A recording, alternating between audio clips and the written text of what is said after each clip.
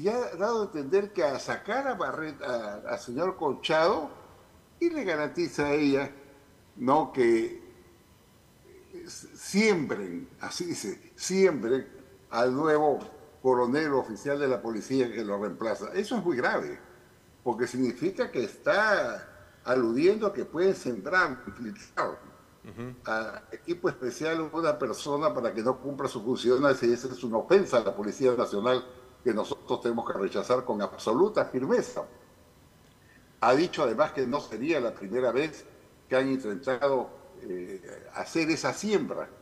Muy bien, que lo demuestre. Su deber como fiscal es decirle, diga usted quién lo hizo, cuándo lo hizo, por qué lo hizo, fechas y nombres.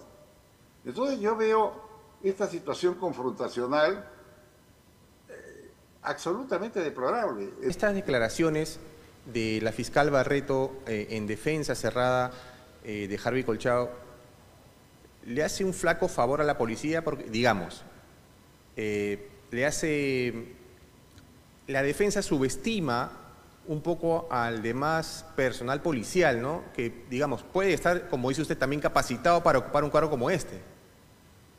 Así es, mire, golpea una institución fundamental del Perú.